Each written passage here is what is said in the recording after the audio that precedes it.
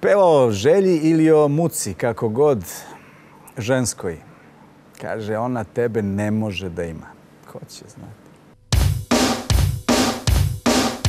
Zar da mene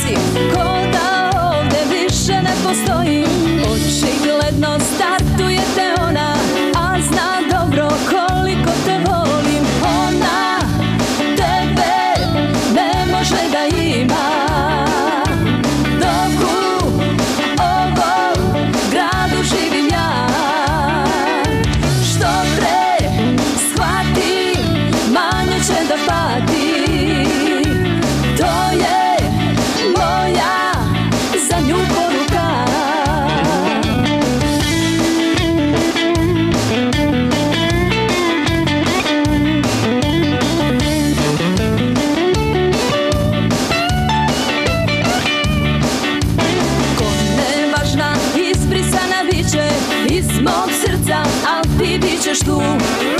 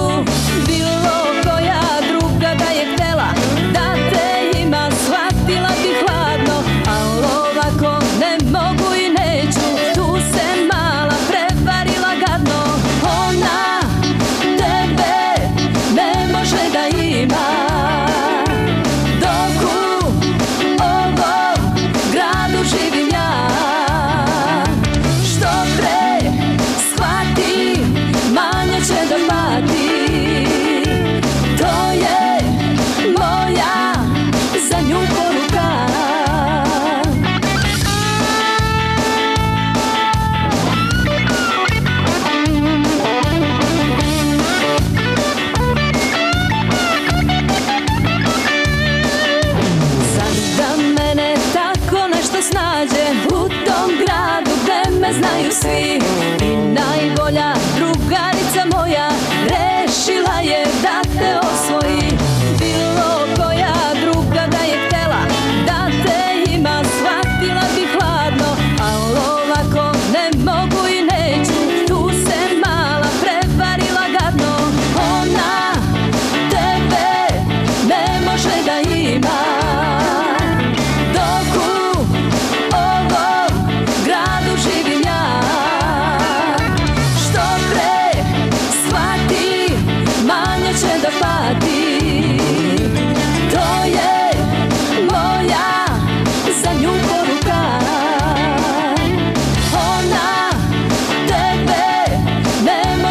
My.